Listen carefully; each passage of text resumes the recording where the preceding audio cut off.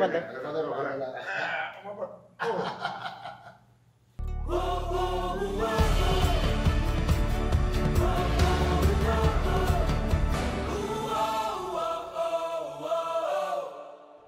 po dito sa Conversations with Father Jerome SVD. At nako po, ikinatutuwa ng ating online program na ito na ang kasama natin ay isang SVD missionary at ah, social influencer sa online. Nako po, ah, welcome to this conversation si Father Jerry Orbos SVD. Magandang araw, Father. Magandang araw, Father Jerome, at sa lahat ng mga nakikinig yan, nanonood yan, worldwide. At salamat, Father, na pumayag ka na makasama rito sa Yeah. Conversations with Father Jerome. May meron, meron ka rin, Father, ng mga online programs na ginagawa. Ano to, Father?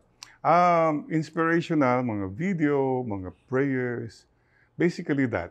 So, nandun nga Father Jerry Orbos, uh, Facebook and YouTube. You try to Tinitingnan kita sa YouTube, Father, eh. Parang ah, either hundred thousands or millions yung viewers mo.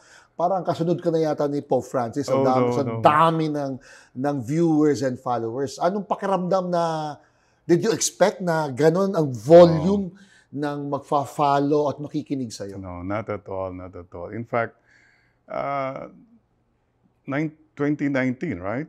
When nung simula na yung pandemic, 2020, I said, siguro, there must be some other way para we can reach out. So, that time, yung Father Biado, and then, well. Anyway, remember what, what they say, when God closes a door, somewhere He opens a window. Mhm. And if that's not enough, he opens the whole roof. Yun ang nangyari. All of a sudden, we were connected worldwide. So that's uh, what I'm saying is to po, God is with us always and in all ways. In all ways. Yes, He made it. And this time it is the the platform of ano no online media at uh may is there a team around you that help you on this uh, ministry so to speak? Uh, guerrilla, guerrilla kwan lang, um, ganun-ganun lang. Simple, you know, we started with, uh, ito lang, cellphone lang, dito yung isang, yung kwan lang. That's it. Then, then laptop na, and then may camera na rin. Of course, Father said free, ang laking tulong. So, you know, when God calls, di ba sabi natin, when God calls, He will also provide. Kasi one time I saw you dito sa mission house, narito po kami sa bahay ng mga missionaries ng SVD. Yeah. At uh, nakita ko ang backup mo lang yung driver na kasama mo, siya yung nakabantay sa camera and that's the way God provides. That's right. He provides in small ways. Then, it grows as you as you also grow. Wala ka bang mga basher? Kasi syempre may mga comments pa sa Ah, Facebook. siyempre. mayroon, right away you have. May mga ayaw kay Mama Mary, ayaw mga kwan. It's part of uh, discipleship. Well, persecution is part of discipleship. So, natanggap na natin yan. But, Do, More than do you that. allow them na sirain yung mood ano, I don't good even, vibes mo? sometimes I don't even read them anymore. Mm. I don't know really ang feedback. Mm. I just do what I think the Lord wants me to do and bahala na yung results, yung comments, opinions. I, I really don't even look at it And then when I check, of course, if I'm a secret silent follower, Mm. so I can say these words, Father. When Yeah. I look at your, ano, let's say it's a short message that you do with Password TV, Right, right. or kung ito'y Hobily, ah, ang isa sa mga nakita kong ang maganda sa iyo, meron kang mga acrostics na ginagawa. Yung mga BTS, Ah, yeah, yeah. SM. How do you get this idea that the secular trending Right. words and situation nadadala mo sa isang spiritual uh, deepening? How does it happen to a Jerry Orbos content?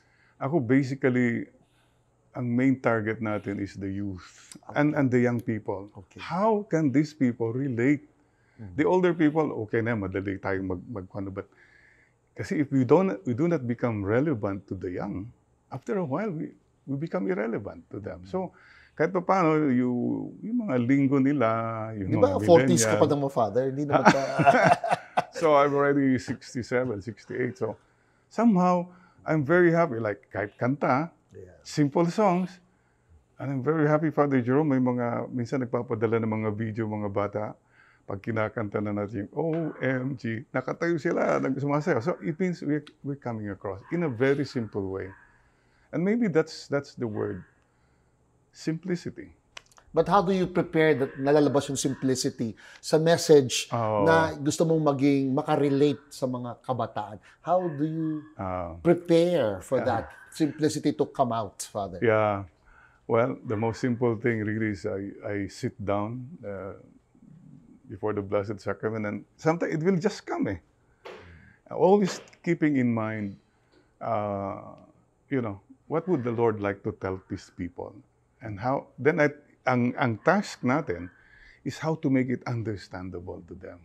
But you raised the first point eh. How does the Lord want to speak to these people? No? Mm. Yeah. Parang, I think like a prophet, no? Yeah. Who would like to look into God's words, listen to it, Yes, and what would be definitely. His message to these people. And Yes. then, nilagyan mo ng second element, how would I translate it into their own conditions? That's where we come in. Mm. That's where the messenger has to come in. And eh, look, let's put it this way: these are difficult times. People are in survival mode. Ang dami nang nadidepress, ang daming... I mean, if you come talking about doctrines or cult, yung mga, I don't think it- this is not the time. And but you know what people need? Simply back to the most basic message of the gospel, good news, which is joy and hope. Yan lang kung mabigyan natin, oh, may, may joy, may hope, then the gospel comes alive. Kasi survival mode karamihan eh.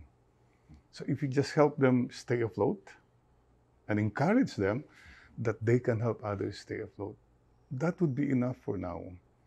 Pero yung sinasabi mong joy and hope, yan din ang laman ng mga encyclical letters ng Santo Papa. the joy of the gospel. Ba- Diba? Parang, it may sound st- uh, strong and theoretical, pero actually, bottom Mm. line, you were, you're able to simplify those messages. Yeah. Pero Father, ang, when you say you come to the Blessed Sacraments, Yeah. yeah, interesado kami sa prayer life ni Father Jerry.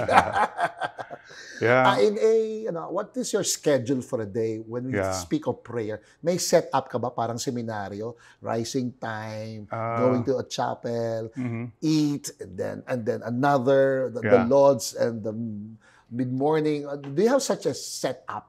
Yes, I guess I have. You know, maybe it was cancer that helped me to become more prayerful. That's it. When you realize, wala na, Lord, so I'm just here. Oh, I look back and I said, this is it. This is what I've missed all these years. I was busy, etc. But without that real prayer time, wala eh, empty. Noisy gong, clanging cymbal. So it, I've simplified it again. You know, getting involved with mga Zoom.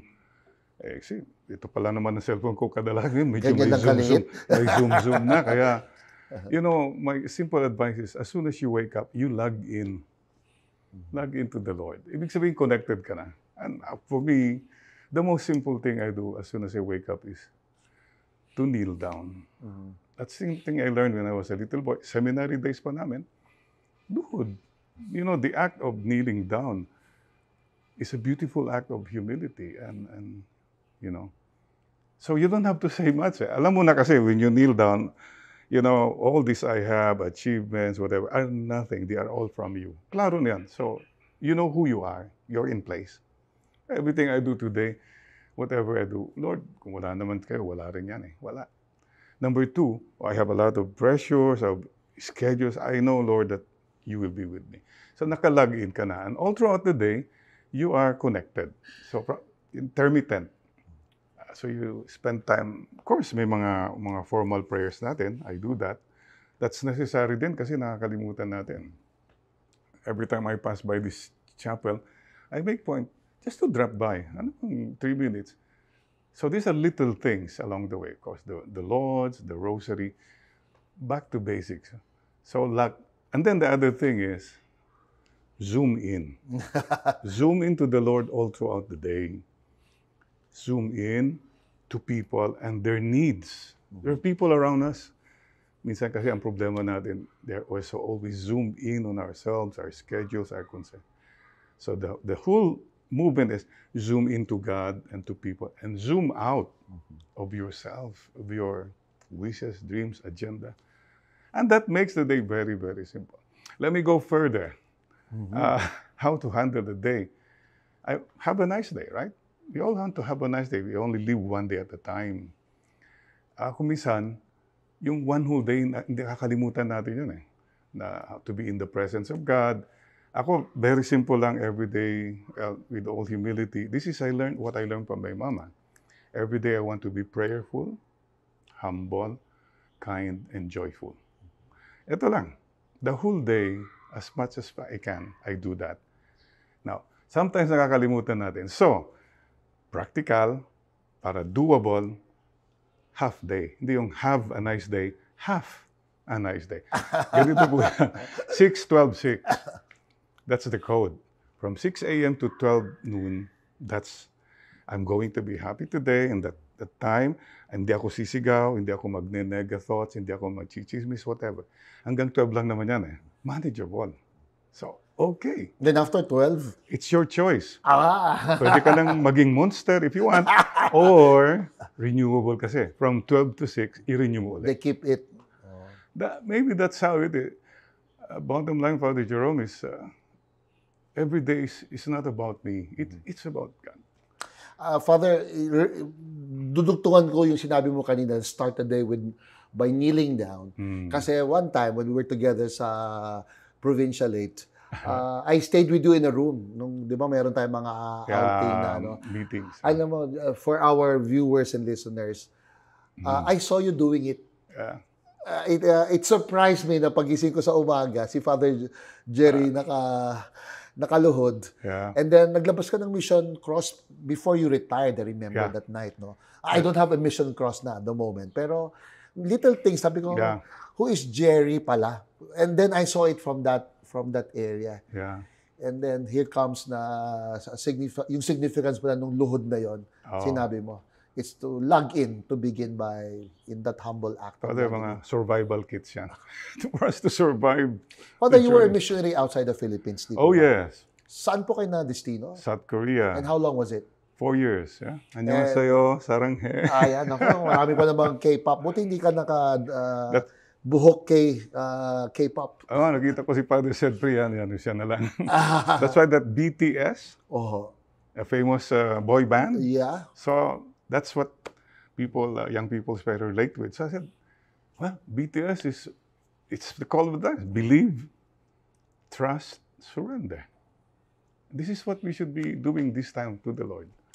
So, pati message mo may hango sa Korea. Well, lahat na, you know, uh, surprisingly, you know, I mean, 1984, I was there with Father Rick Dumas, SVD. And I still speak Korean. I, it's still Hindi daw ganun kadali yung language. Father. Oh, difficult, very difficult language. But somehow I enjoyed it, and whenever I meet Koreans, just so happy. Anong ano, nung, I mean, ngayon, nung galing ako ng Korea, ang gaganda ng kutis, Yeah. lahat nagme-makeup, lahat may hawak na cellphone sa ano. Anong impression mo sa mga Koreans? Um, well, the, the, the first That thing, time. The time, oh, they were they were already beginning to go up, no? And they were very they're very open to Christianity compared to Japan. Halos walang conversions. Korea, they're open. You know? In what way they have influenced you as a person? oh, Yung experience mo sa Korea? the first thing I I found with them is their love for country. Ah. Urinara, our country, our country. Mm-hmm. Little children from their, you know, are taught already to talk their country as our country. Mm-hmm. That's sense of country, ang lakas. And Hindi, then, gan- hindi tayo ganun kalakas. ah, Father. no, I don't think so. Mm-hmm. I wish. Mhm. Kasi may malakas ang sense of family natin, sense Oh, of party, sense of community. Tsaka sense- bayang magiliw lang yung country natin, ano? yung tumayo ka sa pag-awit. Parang ang liit lang nun, ano? Yeah, that's why Heidi Lean was something for us. Yeah, very. Galing, yung mga ganun siya. Mm. Galing, yung what? Glory to God. Tapos, turo siya ng turo sa flag for the love of the country. That for me... And the Korean has that, ano? They have it. That deep love for their country. Oh, yeah. Ano pa, Father? How did they influence you? Ah, yung religiosity nila, okay. malalim, how they are so... The, the divine, And then yung mga Katoliko doon, they're really prayerful. Father, they- sabi nila, hindi clear, hindi pare ang nagsimula ng mission sa Korea. that's right. Does it make a difference na ang Korean Catholics ay hindi pare ang nagmisyon, laiko? Like, oh, yes. Nakita mo kung anong kaibahanan sa Yeah, pagka-religious nila? well, first of all, it's amazing na so lay people went to China and they brought Catholicism. Lay people, ah. So, malaking kwan yun, saludo to the lay people. To realize na hindi lang pare, hindi tayo, it's the mission of everyone. By the way, uh, hindi ka na insecure doon no, na mas angat ang laiko na nagsimula ng mission kaysa sa ating mga clerical missionaries. Yeah. Does it make you feel less? May ganun ba yun? Well, not really less, but I I sort of simply admire that. Oh my God, this is something else. And don't forget, Kim Tae-gun, the first uh, Korean saint, was in the Philippines. Talaga? Yeah, in Lolomboy.